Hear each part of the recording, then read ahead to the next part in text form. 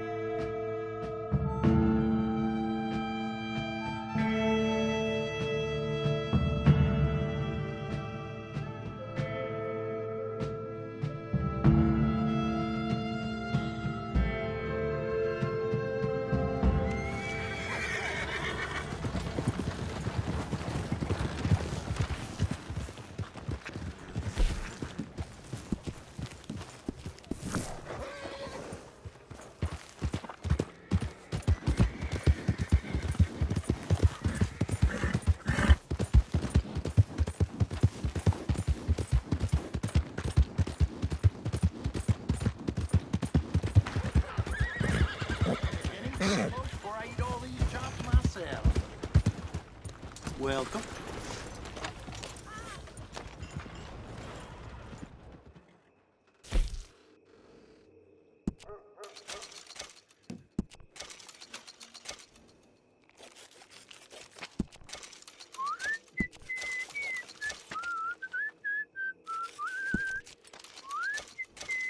A lot of folk coming by with these lately.